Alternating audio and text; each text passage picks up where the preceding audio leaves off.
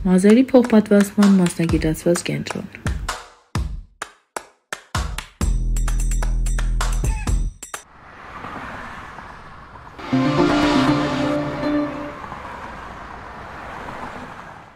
Առաջինի եթերում շարունակում ենք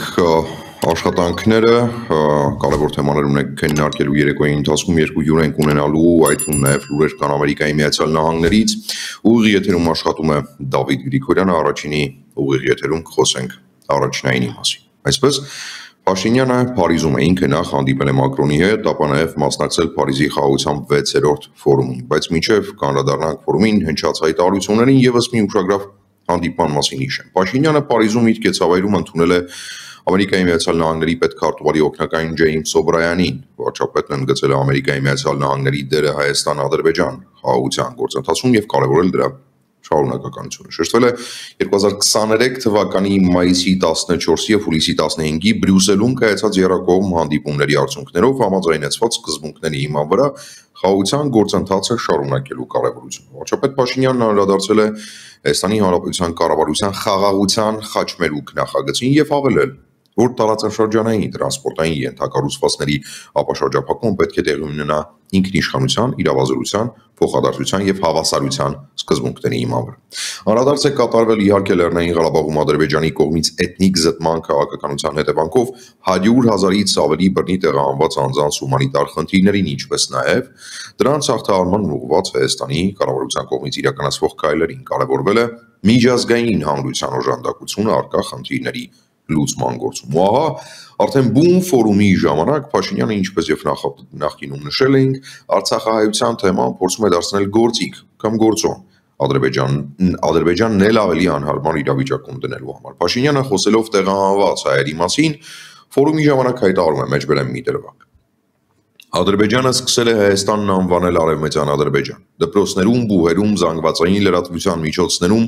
քարոզվում է Արևմտյան Ադրբեջան հայեցակարգը, որը Հայաստանի դեմ նորմ պատերազմ նախապատրաստելու հայեցակարգ է։ Չնայած խաղաղության պայմանագրի ստորագրման ակնհայտ մոտիկությանը լուրջ կասկածներ կան վերը նշված խնդիրների լուծման հարցում Ադրբեջանի գործողությունների անկեղծության վերաբերյալ։ Մեջբերման ավարտելանի պատասխան կարծես Բաքվից հնչում են լրիվ այլ տեսակ հայտարարություններ։ Ալիևը կարծես ուժ է գործադրում համոզելու, թե իր կողմից առաջարկվող միջազգային տրամաբանությունը լրիվ տեղին է, իսկ դրանից հրաժարումը հայերի կողմից անմտություն։ Կարծես այս պահին Բաքվում չկա ռեսուրս նոր սուտ հորինելու, թե ամեն ինչում մեղավորում է մեղավոր է Հայաստանը։ Հայաստանը չի գնում այն ճանապարհով, որ ճանապարհով Ադրբեջանը կարողանար մանիպուլացնել արևմուտքին։ Եվ սրան զուգահեռ Ալիևը հայտարարում է Մեջբերեմ։ Հայաստանը հրաժարվում է Ադրբեջանի հիմնական հատվածից դեպի Նախիջևան ճանապարհ ապահովել։ Դա իրենց ընտրությունն է, կարծում եմ, մեծ խալ են թույլ տալիս։ Իրանի հետ պայմանավորվեցին Գալաքսի հարավային ափով երկաթուղու եւ ավտոմայրուղու երթուղու կառուցելու շուրջ։ Նախագծի արդյունքում կունենանք երկու երթուղի, մեկը Աստարայով, մյուսը Աղմենդով։ Ու արդեն այս փուլում առնվազն པարզ է, որ Բաքուն նպատակ է դրել ոչ մի դեպքում չստորագրել խաղաղության պայմանագիրը, քանի որ զգում է, ինչ որ փուլում կարող է ստանալ ավելին քան 86600 քառակուսի կիլոմետր տարածքը։ Ինչու եւ ինչպես։ Առնվազն թիկունքում ունենալով գուցե ռուսական ու թուրքական աջակցությունն ու հայկական կողմն էլ համառորեն նշում է հենց սույն թվերը 29800 եւ 86600 որպես փաստ որ Հայաստանը չունի որևէ հավակնություն Ադրբեջանի նկատմամբ։ Այս մասին մի հերթական անգամ պնդում արեց Արմեն Գրիգորյանը, որը մեկնել էր Եվրամիության մայրաքաղաք։ Մեջբերեմ։ Մենք պատրաստ ենք խաղաղության։ Ուզում ենք, որ հրաապարակային հաստատվի 29800 կիլոմետր քառակուսի Հայաստանի եւ 86600 կիլոմետր քառակուսի Ադրբեջանի տարածքը, ապա շրջափակումը տեղի ունենա 4 սկզբունքների հիման վրա՝ սուվերենություն, իրավազորություն, փոխադարձություն եւ հավասարություն։ Հայաստանի Հանրապետությունը այս օրակարգով պատրաստ է շարունակել բանակցությունները, գալ Բրյուսել, հասնել վերջնական կետի եւ կնքել խաղաղության պայմանագիրը։ Մեջբերման ավարտ։ Սակայն առնվազն հստակ է, որ Ադրբեջանը պատրաստ չէ կամ չի ուզում այս ֆորմուլայով գնալ խաղաղության ու կարիք ունենք արձանագրել, որ սա փակուղի է։ Արդյոք այդ փակուղուց իրավիճակը դուրս բերողը արևմուտքն է, թե Ռուսաստանը, որ փակուղին դարձնելու է ճանապարհ դեպի Կրեմլ։ Թեման քննարկելու եմ Գիտությունների ազգային ակադեմիայի փիլիսոփայության, սոցիոլոգիայի եւ իրավունքի ինստիտուտի տնօրեն, քաղաքական գիտությունների տեխնացու, դոցենտ Էմիլ Օրդուխանյանի հետ տեսակապով։ Պարոն Օրդուխանյան, անչափ շնորհակալ եմ, որ ժամանակ գտաք միացակ մեզ ուղիղ եթերում այսօր Նիկոլ Փաշինյանը մի շարք հայտարարություններ է արել առաջին հերթին հիշատակելով Փարիզում այն որ Հայաստանի Հանրապետությունը պատրաստ է կրկին կնքել խաղաղության պայմանագիրը մոտարկված են բոլոր գաղափարները բայց ադրբեջանական կողմը շրջանառության մեջ է դնում այսպես կոչված արևմտյան ադրբեջան հայեցակարգը մինչդեռ փաստ է նշենք նաև որ Նիկոլ Փաշինյանը այսօր այս ֆորումի շրջանակներում նշել է նաև 500 հազարից ավել փախստականների մասին հայ փախստականների որոնք վերջին 30 տարվա ընթացքում լքել արգելել են Ադրբեջանի տարածքը։ Արդյոք Հայաստանը փոխում է իր քաղաքականության ձևաչափը ռեակտիվ արձագանքող քաղաքականությունից գնալով նախաձեռնողական քաղաքականության։ Շնորհակալություն հրավերի համար։ Ակնհայտ է, որ Հայաստանի Հանրապետությունը վերջին 1 ամսում իրապես նախաձեռնողական քաղաքականություն է իրականացնում։ Ես ուզում եմ հիշեցնել առաջինը. Թբիլիսիում տեղի ունեցած խորհրդաժողովի համաժողովի ժամանակ խաղաղության խաչմերուկ նախագծի ներկայացումը սա իրապես նախաձեռնողական քաղաքականություն է, որը ոչ թե ռեգիոնում մնալու, այլ ռեգիոնից դուրս գալուն ուղված նախագիծ է։ Եղան գնահատականներ, որ այս նախագիծը սпасարկելու է ռուս-թուրք-ադրբեջանական շահերը եւ սա ուղղակի անմտություն է, քանզի այսօր Եվրոպայի սրտում Փարիզում վարչապետը նույն նախագիծը խաղաղության խաչմերուկը ներկայացնում է արևմտյան աշխարհին։ Սա նշանակում է, որ Հայաստանը խոշոր հաշվով վերջապես գտել է իր տեղը, դերը եւ նշանակությունը տարածաշրջանում եւ նախաձեռնողականությամբ շահերի համադրության համատեքստում փորձում է ճշգրտել այն հնարավոր ենթակառուցվածքների ապաշրջափակման պարագայում տնտեսական եւ ըստ էության ռազմավարական հոսքերը, որոնց համար Հայաստանի Հանրապետությունը կդառնա այս իմաստով նաեւ տարանցիկ պետություն։ Սա նշանակում է, որ Ադրբեջանը բնականաբար այս պարագայում դիրքավորվելու է ժխտողականության, քաղաքականության մեջ, քանի որ ապաշրջափակումը խաղաղության խաչմերուկ նախագծի համատեքստում Հայաստանին դարձնելու է խոշորագույն մրցակից Ադրբեջանին, ինչը հանգեցնելու է նրա դիրքերի նվազմանը, հետևապես նաև որպես քաղաքական գործոն տարածաշրջանում դիրքերի թուլացմանը։ Եվ սա է պատճառը, որ Ադրբեջանը խուսափում է արդեն որերորդ անգամ արևմուտքում, մասնավորապես Եվրոպական միության հովանու ներքո, մասնակցել քննարկումների, բանակցությունների, ժողովների եւ քանի որ այդ ֆորմատում Ադրբեջանը այլևս հնարավորություն չունի օրակարգ պարտադրելու եւ խնդիրը հետեւյալն է եվրոպական ընտանիքում խոսում են իրավունքի դիրքերից ադրբեջանը փորձում է խոսել ուժի դիրքերից իսկ ուժի դիրքերի խոսույթը ադրբեջանի պաշտպանության եւ հավանության նաեւ հովանավորության է արժանանում անուղակիորեն ռուսաստանի միջնորդության պայմաններում թերևս սա է նաեւ պատճառը որ ռուսական կողմից կրկին այսօր շրջանառվեց կոչ առաջարկ, որն իրենք պատրաստ են երակողմ հանդիպում կազմակերպել Մոսկվայում նաև Հայաստանի եւ Ադրբեջանի արտգործ նախարարների մասնակցությամբ։ Այսինքն Ադրբեջանը փորձում է խնդիրը տանել դեպի ռուսական տիրույթ, որտեղ իրեն լավագույնս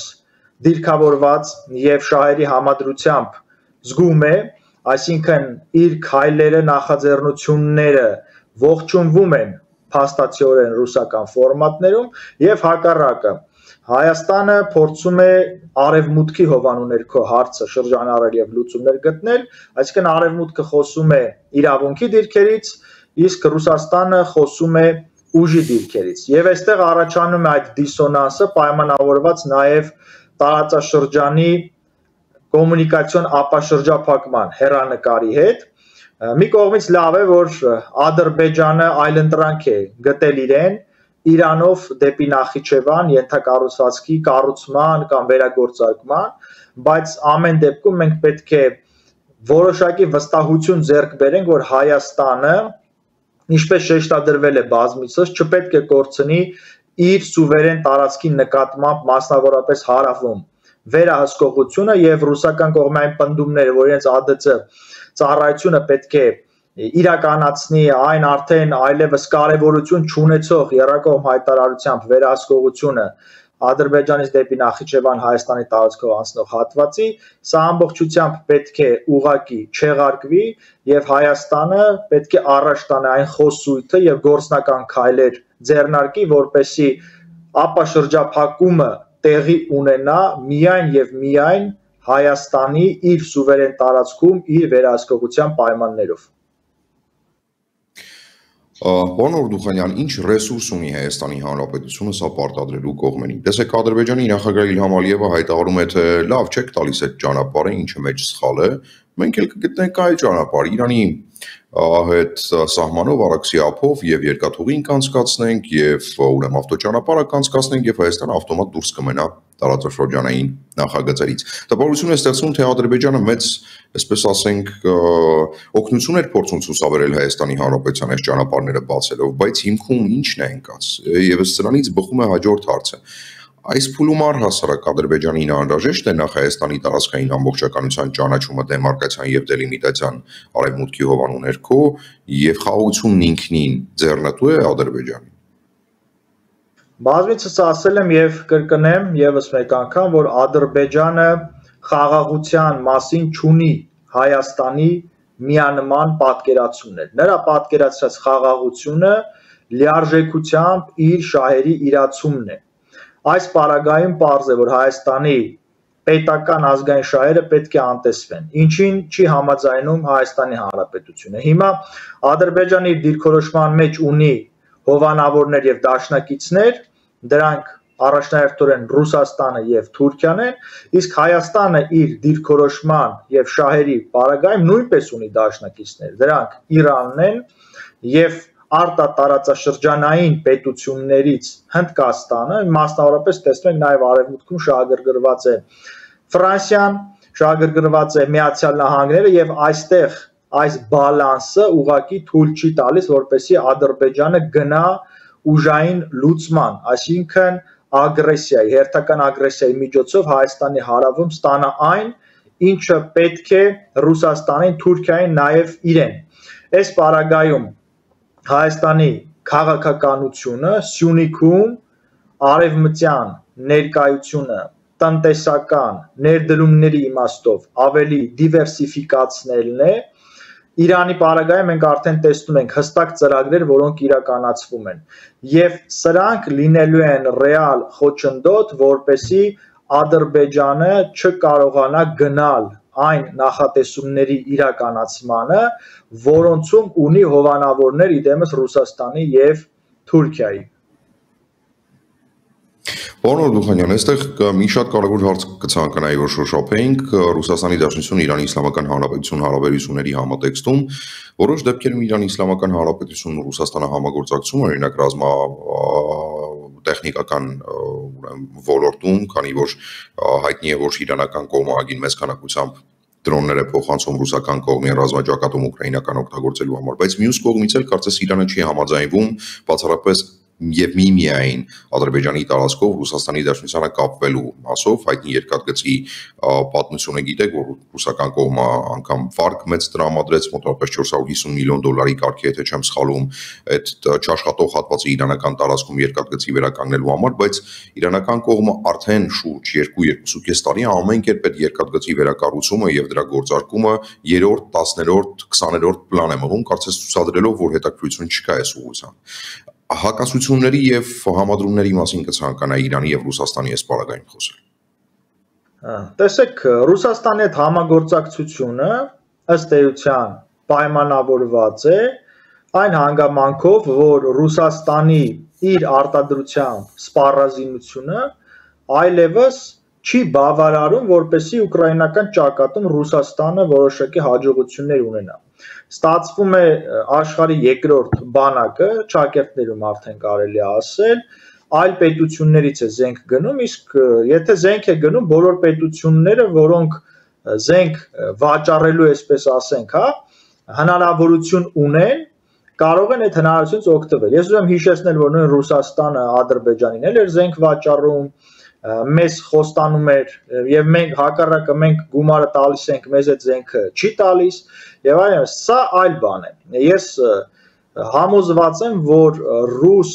իրանական այս համագործակցությունը ռասպարազինության ոլորտում ամենևին չի կարող ստվերել Իրան եւ Հայաստան հերանեկարային տնտեսական շահերի սպասարկման իրական հնարավորությունները, որովհետեւ Իրանը չի ուզում որպեսի տարածաշրջանում այլ պետություններ ունենան գերակադիրք իր նկատմամբ այդ պետությունները կարող են լինել Թուրքիան, կարող է լինել Ռուսաստանը, մասնակիորեն կարող է լինել նաև Ադրբեջանը։ Եվ քանի որ այդ պետությունների գերակայությունը տնտեսական մթագնելու է Իրանի հերանեկարային զարգացումը, ապա Իրանը ամուր կարճում է Հայաստանի հետ սահմանի անխախտության փաստին, հերանեկարում նախատեսելով այն պահից, երբ սանկցիաները ուղղակի կվերացվեն Իրանի վրայից, իր ածխաջրային ռեսուրսների եւ ոչ միայն տարհանման, արդյունահանման, արտահանման այս նոր ուղիներ մշակելը։ Մենք տեսնում ենք, որ նաև այստեղ հետաքրքրված է Հնդկաստանը, որը խոշորագույն տնտեսական ներուժ ունեցող պետություն է եւ Հայաստանը ներկայացնելով խաղաղության խաչմերուկ նախագիծը ստանձնում է դերակատարություն սինթեզելու արևելքը արևմուտքի հետ Այստեղ հյուսիս-հարավը այդքան կարևոր չի դառնում իրականում։ Այո, խաչմերուկը քառակողմ ուղիներ է ենթադրում, բայց մենք տեսնում ենք, որ հյուսիսից կա հակադրություն այս ամենին, չնայած իհարկե Զախարովան ասում է, որ սա գրեթե այն նույն բանն է, ինչ մենք ենք ասում, բայց իրականում այդպես չէ։ Իրենց պատկերացրած խաղաղության խաչմերուկը ռուսական, իրանց վերահսկողության տակ պետք է լինի։ Հայաստանի պատկերացրած եւ առաջարկած խաղաղության խաչմերուկը Հայաստանի վերահսկողության տակ պետք է լինի։ Իսկ սա շատ մեծ տարբերություն է։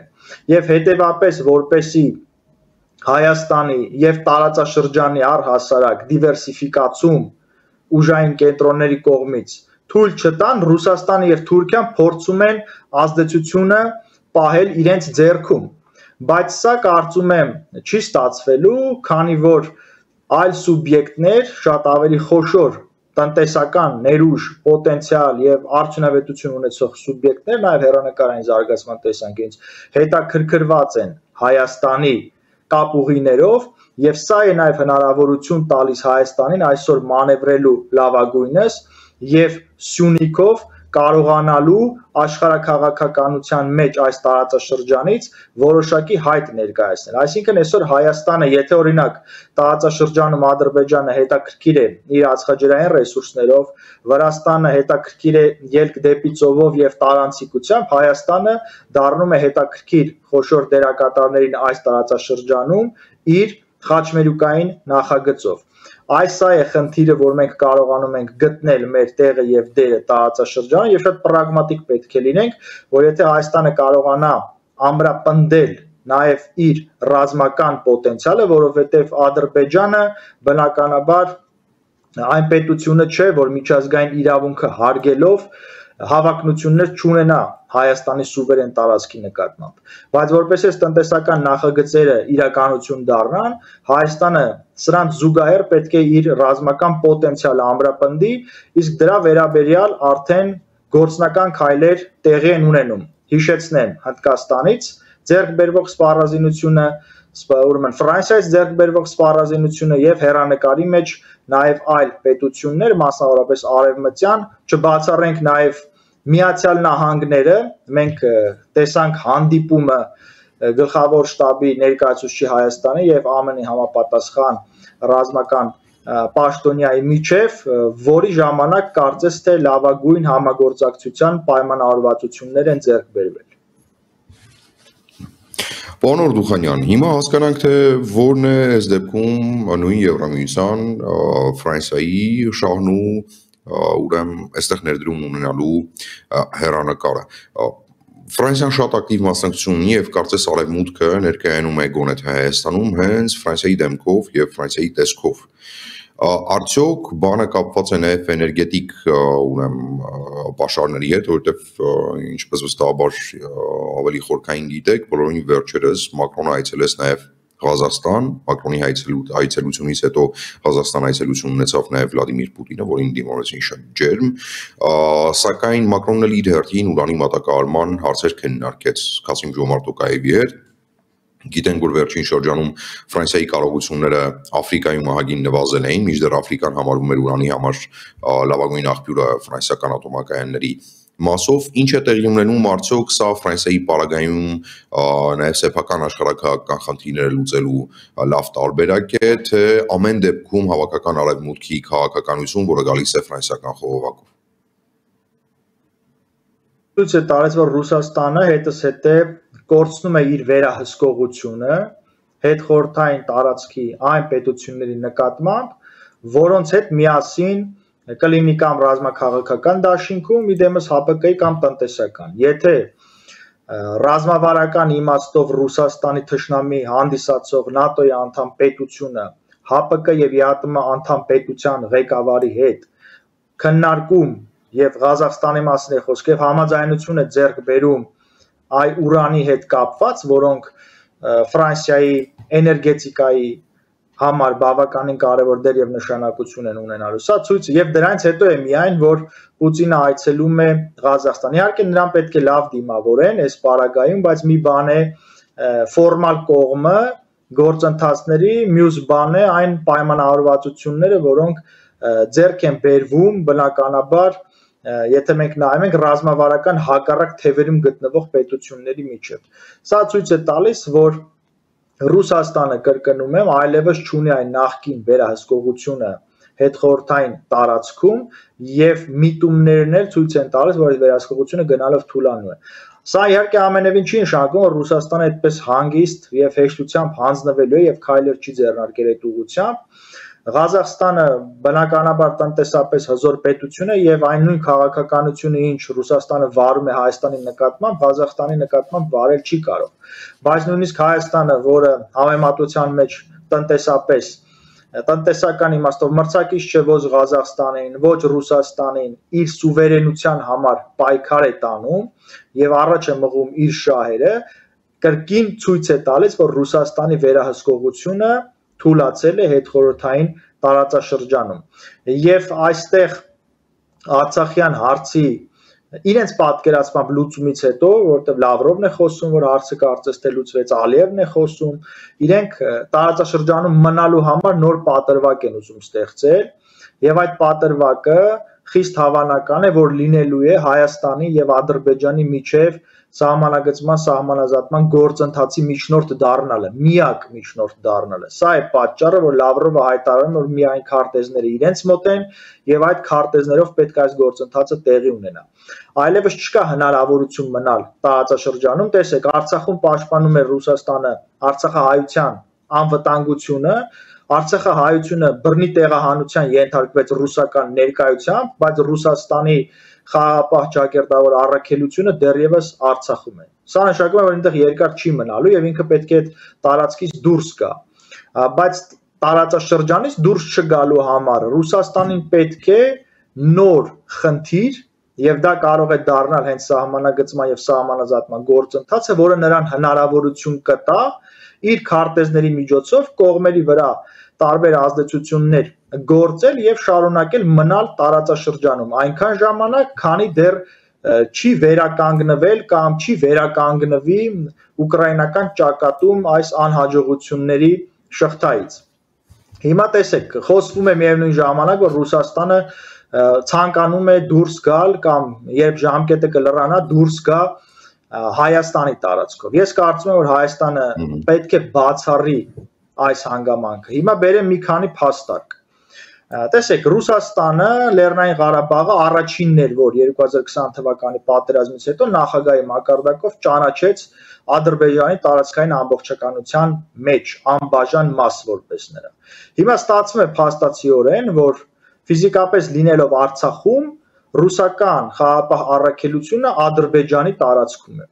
Ադրբեջանը Հայաստանի հետ չունի բաց սահմաններ, ապա շրջափակում տեղի չի ունեցել Եթե ռուսական զորքը վերադառնալ է Ռուսաստան Հայաստանով նշանակում է Ադրբեջանից մուտք է գործելու Հայաստան ստացվում է։ Բայց քանի որ ապա շրջափակում տեղի չի ունեցել, ինչ իրավական հիմնավորմամբ է դա տեղի ունել։ Մի բան էլ մուտքը։ Այն ժամանակ կար Լաչինի Միջանցք, Լաչինի Միջանցքը պետք է վերահսկեն ռուսները, բայց նոյեմբերի 9-ի 10-ի հայտարարությունը ամբողջությամբ տրամաբանորեն իմաստազրկվել է եւ այս նոր իրողության մեջ Ռուսաստանի վերադարձը կամ դուրս գալը Արցախից հնարավոր է բացառապես Ադրբեջանի տարածքով, որի հետ Ռուսաստանի Դաշնությունը ունի պետական սահման։ Ես ինչու եմ այս ռիսկը մի քանի անգամ արդեն շեշտադրում, որովհետև այն սպառազինությունը, որը թողնվել է ռուսական խաղապահ առաքելությանը Արցախի կապիտուլյացիան ստորագրած իշխանությունի, ուրեմն ձեռամբ, եթե այդ սպառազինությամբ, այդ զենքով մտնելու է Սյունիք, եւ այնտեղ նրանք նախատեսում են, շատ են խոսում, շատ են ցանկանում բացել հյուպատոսություն։ Դա լուրջ ռիսկեր է ստեղծելու հենց Հայաստանի հարավի համար եւ արդեն գետնի վրա գտնվելով իրենք իրավիճակի վրա լուրջ ազդեցություն են ունենալու պետք է այս ամենից խուսափելու համար բացառել ռուսական զորախմբի վերադարձը Ռուսաստան Հայաստանի Հանրապետության տարածքով։ Պարոն Օրդուխանյան, հուսամ որ գործընթացները հենց այս ուղղությամբ էլ կընթանան։ Ձեզ անչափ շնորհակալ եմ այս ուր ժամին մեզ ուղիղ եթերում միանալու, բայց անչափ կարևոր մեկնաբանություն տալու համար։ Ուսամ դեռ հնարավորություն կունենանք ուղիղ կապի միջոցով քննարկել ամենակարևոր հարցերը։ Կրկին շնորհակալ եմ մեր հեռուստադիտողներին հիշեցնեմ, որ ուղիղ կապ էինք հաստատել Գիտությունների ազգային ակադեմիայի փիլիսոփայության, սոցիոլոգիայի եւ իրավունքի ինստիտուտի տնօրեն քաղաքական գիտությունների տեխնազու դոցենտ Էմիլ Օրդուխանյանի հետ տեսակապով աչափ կարևոր զրույց էր վստահ եմ որ այն ամբողջությամբ եթե ընթացեք միացել կարողանաք դիտել մեր պաշտոնական Facebook-յան եւ YouTube-յան հարթակներում հիմա գրանք առաջ կարծես թե հայկական լոբին նոր տեսք է ստանում Ամերիկայի Միացյալ Նահանգներում արամ առաջինը բացվում է կոնգրեսի լսումներ բազմաթիվ անհատների ջանքերով ու կարծես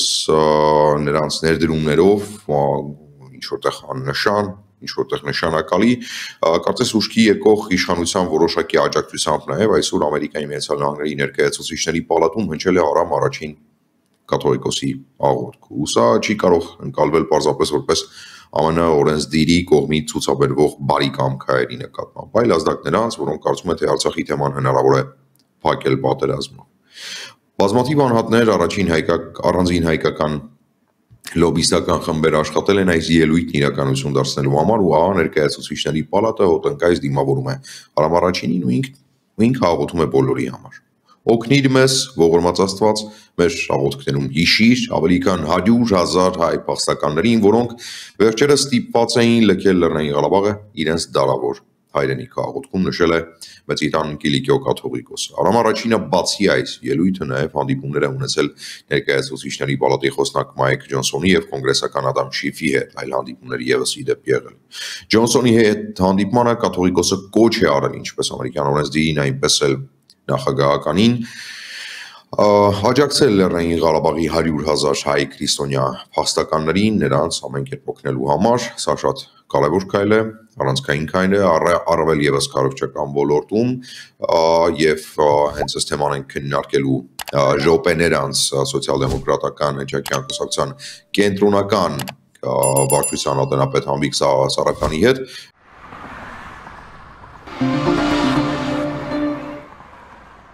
Վերադառնում ենք ուղիղ եթեր եւ ես ուղիղ կապ եմ հաստատում Ամերիկայի Միացյալ Նահանգներ զրուցել եմ սոցիալ-դեմոկրատ հնչակյան կուսակցության կենտրոնական վարչության ատենապետ Համբիկ Սարակյանի հետ։ Պարոն Սարակյան, անչափ շնորհակալ եմ, որ ժամանակ գտաք միացաք մեզ։ Կարևոր թեմաներ կան քննարկելու առավել եւս Ամերիկայի Միացյալ Նահանգների քաղաքականության ուղղությամբ, առավել եւս այն ելույթից հետո, որ Շալամ առաջին այսօր արդեն նախորդին ունեցավ ուրեմն ներկայացուցիչների պալատում նախ եւ առաջ ձեր կարծիք ցանկանայի լսել որքանով է սա կարեւոր եւ էական գոնե թե քարոշչական առումով, գոնե թե քաղաքական ու դիվանագիտական առումով եւ ինչ ջանքեր են գործադրվել ձեզ որպեսզի նման ելույթ լինի, որովհետեւ այո, ի վերջո կաթողիկոսը աղոթք հնչեցրեց, բայց այդ աղոթքի մեջ կային կոնկրետ քաղաքական մեսիջներ ուղղված Ամերիկայի Միացյալ Նահանգների բարձր իշխանություններին կցանկանայի ձեր մեկնաբանությունը լսել այս ելույթի եւ դրա նպատակների վերաբերյալ։ Շնորհակալություն Դավիթ։ Նախ ասեմ, որ որպես այսպես երևույթ անշուշտ եզակի չի, որովհետև կոնգրեսում ներկայացուցիչների պալատում հաճախ է լինում այս բացման աղոթքը, այսպես ասած, եւ հravirվում են տարբեր հարավանությունների ուրեմն կրոնապետեր եւ այսպես շարունակական բանով շարունակվում է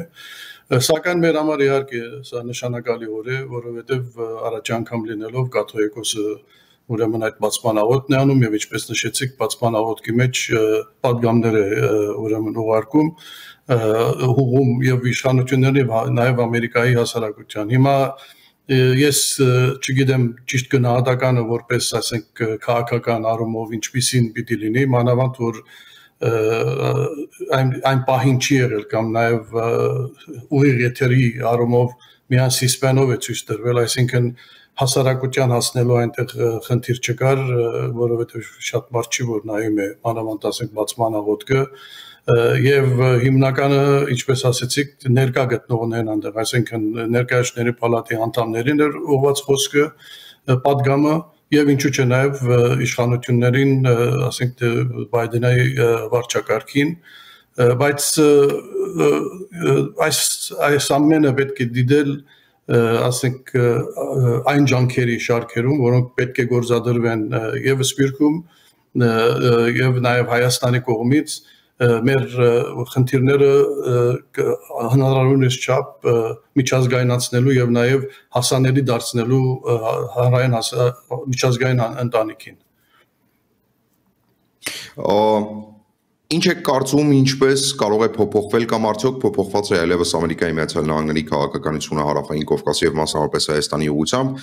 որովհետեւ Հանդիպումները ակտիվ են, մեսիջները եւս նույնն են, չեն փոփոխվում գոնե թե պետդեպի կողմից, շատ դեպքերում պետդեպը շատ հստակ հայտարարություններ է անում, ասելով, որ կանգնած են Հայաստանի Հանրապետության կողքին, Հայաստանի Հանրապետության ժողովրդավարության կողքին եւ պատրաստական աջակցել Լեռնային Ղարաբաղի տեղահանված հայությանը կամ բնակչությանը, եթե անգամ հայության մասին խոսք չի գնում։ Արդյոք Ամերիկայի Միացյալ Նահանգները հավաքական արևմուտքի համատեքստում փորձում է Արցախայության գործոնը իրապես դարձնել գործիք Ադրբեջանի դեմ, որը իրեն այլևս տարածաշրջանում սուպ հեգեմոնի կարգավիճակում է զգում։ Տեսեք, նախ երկու բան պետք է իրանցից իրարից տարանջատենք կոնկրետ ասենք ներկայացների պալատի կամ կոնգրեսի գործառույթները եւ դեպետ դեպի գործառույթները։ Նախ հստակ պետք է իմանանք դժբախտաբար պիտի ասեմ այսօր Ամերիկայի կոնգրեսը գտնվում է շատ այսպես աննախանձելի վիճակում կարելի ասել այն երևույթները, որ այն իրավիճակը, որ տեղի ունեցավ եւ շարունակվում է եւ շուտով մի շաբաթից նորից այդ հարցերը կրկնվելու են, գտնվում է այսպես տրոհված վիճակում ներքին լուրջ խնդիրներ ունեցող եւ գոնե այդ մասով ես բարձրապես ուզում ասել, որ որևէ բան ակնկալել այս բարային հնարավոր չէ, այսինքն կոնգրեսի կողմից падգամ, եթե նույնիսկ Հայաստանին կամ Արցախին օգնելու Արցախայության օգնելու պատրաստակամություն կա, նման որևէ այսպես ազդակ չի կարող գնալ պետք։ Ուրեմն ամբողջ գործարությունը մենք պիտի նայենք Ամերիկայի արտաքին քաղաքականության գերատեսչության տիրույթի տեսանկյունից եւ այնտեղ հստակ է որ այդ падգամները շատ հստակ են եւ շատ այսպես հաստատակամ, որ տարածաշրջանում խաղաղությունը կարևոր է եւ այդ տարածաշրջանի խաղաղության պահպանման նաև ինչ որ իրենց մասնակցությունը մանավանդ այդ մնացյալ մեծ պետությունների հետ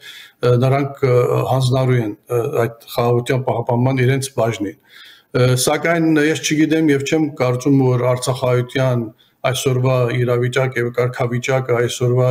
որևէ ձևով զենք օգտագործելու նպատակ կարող է ունենալ Միացյալ Նահանգները, որովհետև նրանց համար այսօր շատ ավելի կարևոր է կարծում եմ,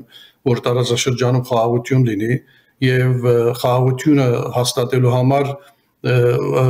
կարող է Արցախահայության խնդիրը լինել մի մասը, բայց չեմ կարող դա լինելու ամենակարևոր մասը։ Ավելի կարևոր է լինելու Արցախահայության համար, որոնք այսօր գտնվում են գաղթականի կարգավիճակում, որպեսզի նաև հնարավորությունը ստեղծվի նրանց իրենց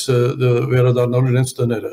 բայց ես կարծում եմ որ մյուսն ավելի կարևոր այսինքն Հայաստան-Ադրբեջան խաղաղության հաստատումը եւ տարածաշրջանում խաղաղության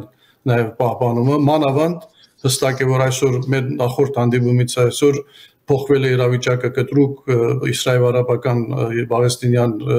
պատերազմի այս ֆոնին եւ նաեւ այստեղ շատ ավելի հիմա կարեւոր է դառնում որ որևէ ուրիշ ճակատ չբրընկվի, որևէ ուրիշ շեղում չլինի։ Այսինքն նույնիսկ եթե նկատեցինք Ուկրաինա ռուս-ուկրաինական պատերազմի ուրեմն մասին տեղեկությունն է այսօր շատ ավելի երկրորդական դարձել իդեմս այդ տեղի ունեցող իրավիճակին Ղազայում եւ ասենք Իսրայելի Իսրայել-Պալեստինա պատերազմում Պարոն Սարոֆյան, ինչ եք կարծում ըս կրկին վերադառնալով ներկայացուցիչների պալատի ելույթին մեծի մասամբ Արամ առաջինը հանդիպումներ ունեցել դեմոկրատական թևի ներկայացուցիչների հետ ու տպավորություն է ստեղծում որ հայկական կողմը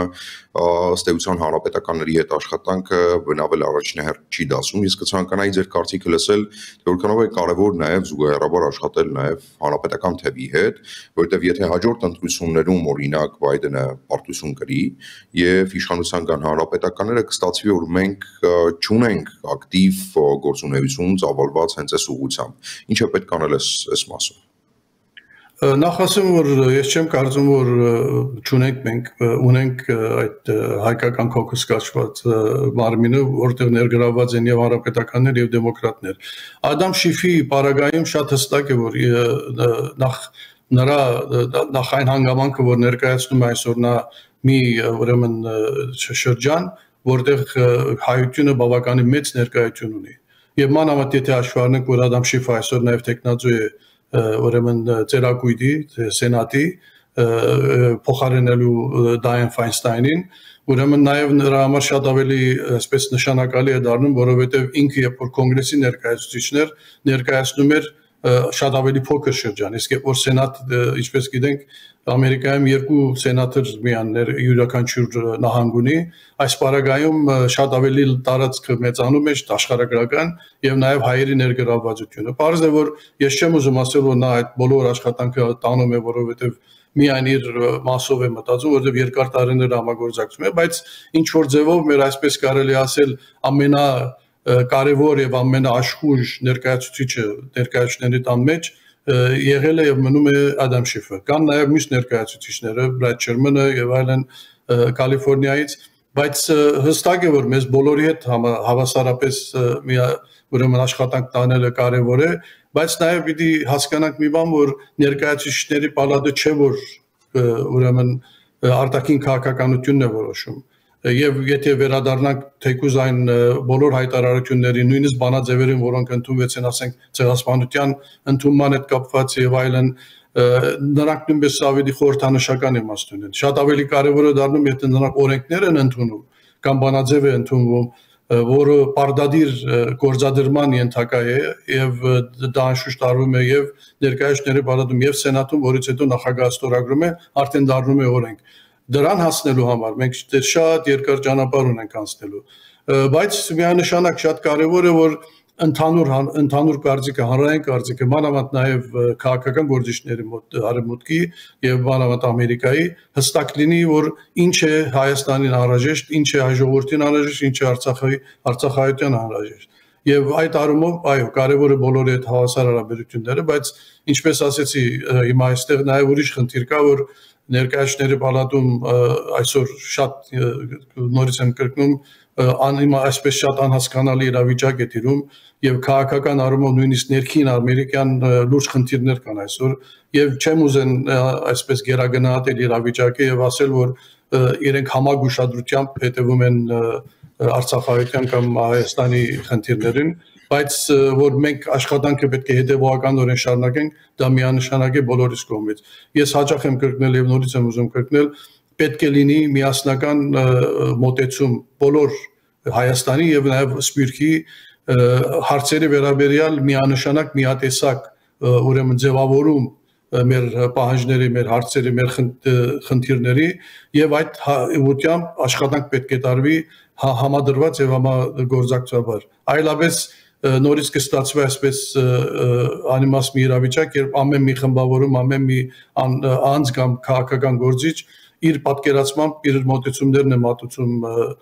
իշխանություններին կամ ներկայացուցիչներին եւ ստացվում է ոչ հստակ եւ ոչ այսպես շատ པարզ մոտեցում մեր խնդիրներին։ Ոնց Արափյան, ով պիտի դրանով զբաղվի։ Պետությունը, կառավարությունը, չգիտեմ,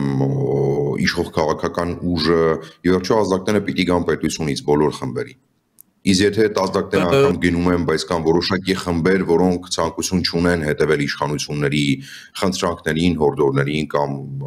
պլանին, այսպես ասենք, ինչ պիտի արվի այդ դեպքում, պայմանական, հա, ավանդական կուսակցությունները արտերկրում որոշում են մեր սպյուրքի համայնքներում որոշում են, որ իրենք ավելի ճիշտ որոշումներ կարող են կայացնել, քան Հայաստանի Հանրապետության կառավարությունն ու իշխանությունը արտաքին քաղաքականության մեջ այս կառույցները գործում են երկրից դուրս այլ երկրներում, հետեւաբար գտնում են այլ երկրների իրավասության ներքո։ Ինչպես կարող է Հայաստանը արգելել կամ արգելակել այդ կառույցների գործունեությունը։ Խոսքը բոլորովին դրա մասին չէ, անշուշտ։ Խոսքը նրա մասին է, որ պետք է լինի համադրված աշխատանք եւ բնականաբար ամեն ինչ պետք է սկսվի Հայաստանից եւ այն անպայման անհրաժեշտ է ներքին համերաշխությունը այս բարագայում այսինքն հայեցակարգի վերաբերյալ մեր արտաքին խնդիրների եւ մարտահրավերների կոնսենսուս է պետք հենց երկրում դժբախտաբար ինչպես տեսնում ենք եւ առայսօր շարունակվում է սկսվում է ներսից այսինքն ներսում չկա այդ ինչ որ անհրաժեշտ է եւ եթե այդտեղ լիներ եւ հստակ լիներ, բարձ է Հայաստանի, որովհետեւ ներկայացուցիչները այսօր դեսպաններն են կարելի ասել, կուսակցությունները, ասենք մենք մնացյալ կուսակցությունները կարող ենք դեսպանների հետ համադրված աշխատանք տանել եւ ինչու՞ չէ նաեւ իշխանությունների հետ ամիջական կապի միջոցով, որպեսի առաջնային խնդիրները Հայաստանի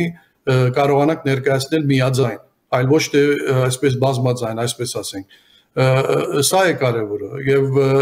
դրսում մենք ինչ որ անում ենք անկախ անում ենք բարձե բայց շատ ավելի արդյունավետ կլինի խնդիր արդյունավետության եւ նաեւ մեսեջինգի, այսպես ասած, հղկման մասին է, այսինքն падգամը հղկված պետք է լինի, այլ ոչ թե տարդղնված։ Ես շատ հաջող եմ այդ մասին նշել, որ երբ մենք падգամ ենք ուղում արտաքին աշխարհին, այդ падգամները տրոված են լինում տարբեր հարցերի վերաբերյալ, այսինքն ցեղասպանության ընդունում, Արցախայության խնդիրներ, Հայաստանի անվտանգության խնդիրներ,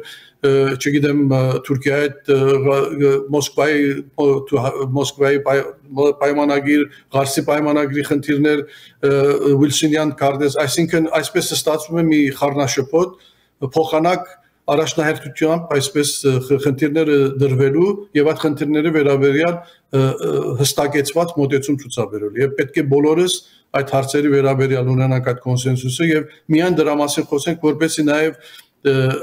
падգամը որ ուղում ենք այդ մարտիկ հստակ հասկանան որ ինչ է մեր ուզածը ինչն է մեր համար գերխնդիր այսօր եւ այդ հարցի վերաբերյալ իրենք մոտեցում ցուցաբերեն կամ ասենք քաղաքականություն ձևավորեն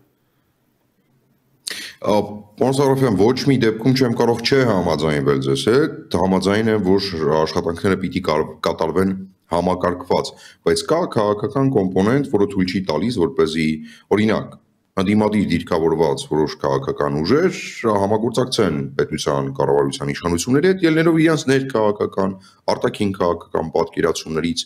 դեպքում ինչ անի պետությունը։ Ստացվում է օրինակ պետությունը ունի հստակ պատկերացում թե ինչպես եւ որ ուղղությամբ պիտի զարգացնի հարաբերությունները Ամերիկայի Միացյալ Նահանգների հետ, մինչդեռ կոնկրետ շրջանակներ, խմբեր, քաղաքական խմբեր լրիվ այլ պատկերացում ունեն Հայաստան-Ամերիկա համագործակցության վերաբերյալ։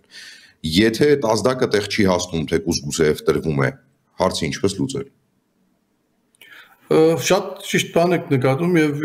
այո, շատ դժվար է դժբախտաբար եւ այստեղ է նաեւ խնդրի հիմնական էությունը եւ գիտեք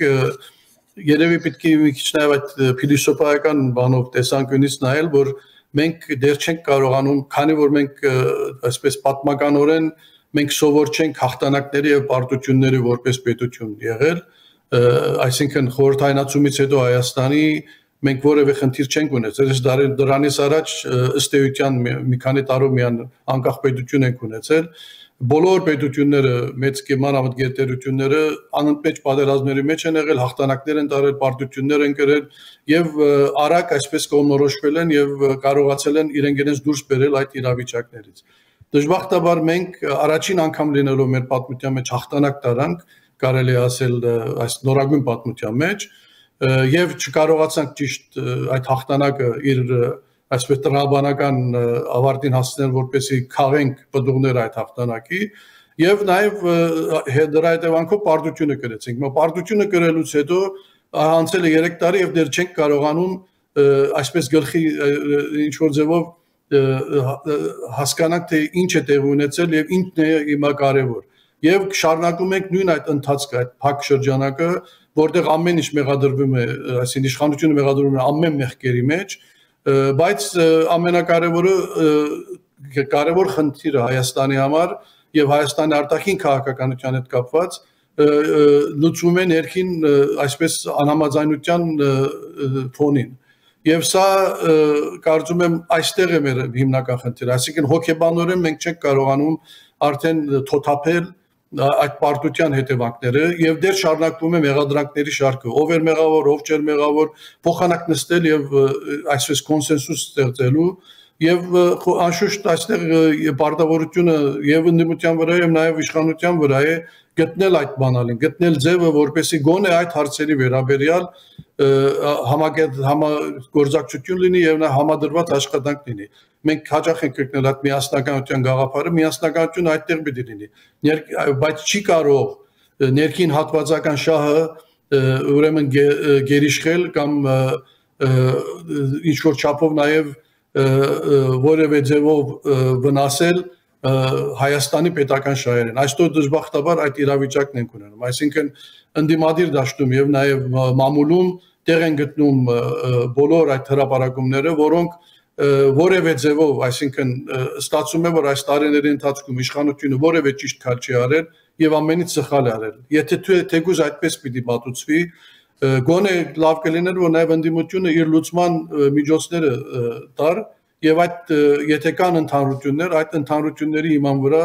ստեղծվեր ընդհանուր քաղաքականություն։ Դժբախտաբար չկա, ինչպես ասեցի,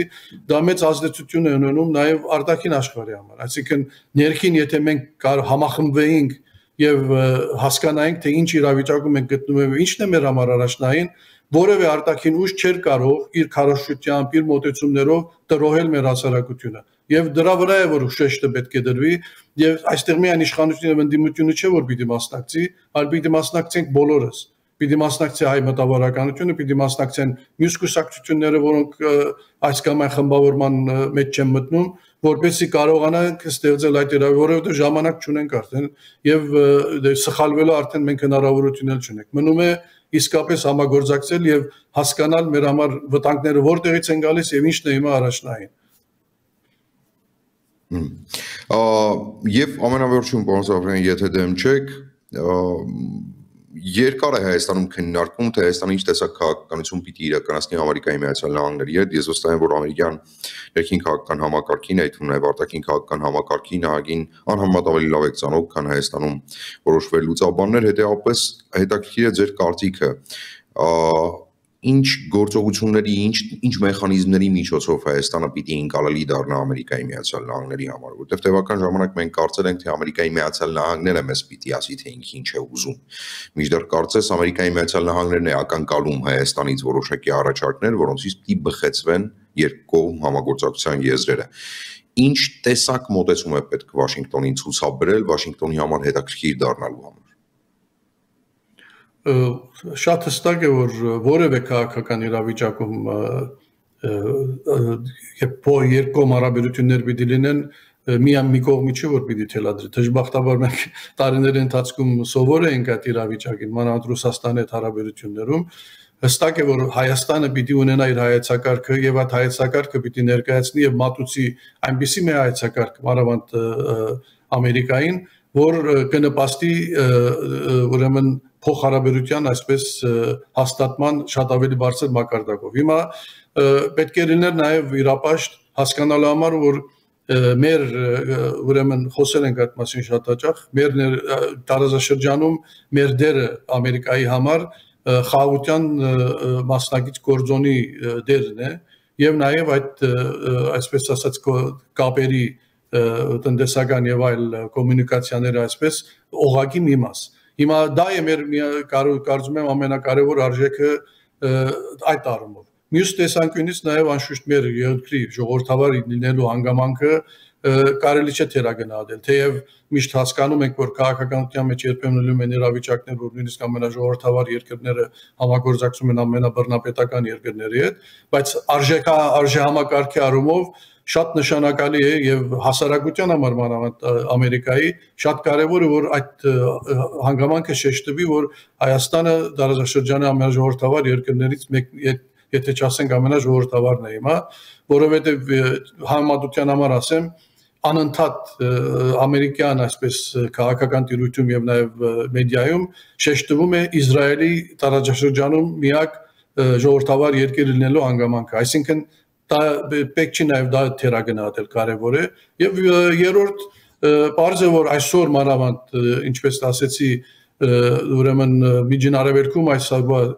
սուր իրավիճակում շատ ավելի կարևոր է դառնում որ տարածաշրջանի բոլոր դերակատարները իրենց դերը կատարեն եւ ըստ երևույթին ստացվեց սանձել այսպես բռնկման ավելի լայն լայնացումը առ այսօր որի մեջ անշուշտ շատ կարևոր դեր էր ունենալու Իրանը եւ Հայաստանի Իրանի այդ սահմանը շատ ենք շեշտել հարևան լինելը դարձնում է մեզ կարևոր օղակներից մեկը, բայց կարծում եմ, որ արևմուտքը այսպես թե այնպես ստացվում է, որ Ֆրանսիայի միջոցով է այսօր մեր հետ այդ կապը հաստատում եւ Ամերիկայի հետ ես կարծում եմ, որ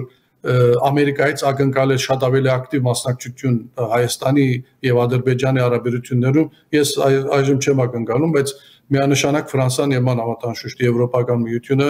այստեղ շատ ավելի մեծ դեր ունեն կատարելու բայց մենք հստակորեն մենք պետք է կարողանանք ձևավորել եւ ներկայացնել թե ինչ է մեր պատկերացումը ինչ է մեր դերը տարածաշրջանում եւ ինչով ենք մենք նպաստելու տարածաշրջանի խաղաղության, համերաշխության, տնտեսական զարգացման մասնակցության Ոնսարաֆյան անչափ կարևոր զրույց էր հաշվի առնելով, որ կարիք ունենք անդադար հիշելու, թե ինչպիսի քաղաքականություն է իրականացնում Ամերիկայի Միացյալ Նահանգները եւ ինչ ակնկալենք առհասարակ, որտեղ շատ դեպքերում ակնկալիքները շատ բարձր են լինում, վերջում դրանք չեն արդարանում եւ հասարակությունը ունենում է որոշակի տրամադրությունների անկում, հետեւապես այս թեմաների մասին խոսելը շատ կարևոր էր ձեզ անչափ Շնորհակալ եմ, որ ժամանակ տրամադրեցիք մեզ կարևոր թեմաներ քննարկելու համար։ Հուսամ բարբերաբար կշփվենք առաջինի ուղիղ եթերում։ Շնորհակալ եմ կրկին մեր հերոստատիտողներին էլ հիշեցնում եմ, որ Ամերիկայի Միացյալ Նահանգները էին կապ հաստատել, ես զրուցում էի սոցիալ-դեմոկրատ հնչակյան կուսակցության կենտրոնական վարչության ատենապետ Համիկ Սարաֆյանի հետ նրա հետ քննարկվեին հայ-ամերիկյան հարաբերությունները նախորդային ներկայացուցիչների պալատում Մարամ Կաթողիկոսի ելույթը, կոչերը որոնք ուղղվեցին ուրեմն ամերիկացի պաշտոնյաներին եւ ինչ արդյունքներ ակնկալել նմանօրինակ գործունեությունից։ Այժմի համար կարծես այսքանն էր, մենք ամփոփում ենք շաբաթը կհանդիպենք արդեն երկու շաբթի երկու շաբթի նույն ֆորմատով ուղիղ եթերում աշխատեց Դավիթ Գրիգորյանը բոլորիս խաղաղ հանգստյան օրեր եւ առայժմ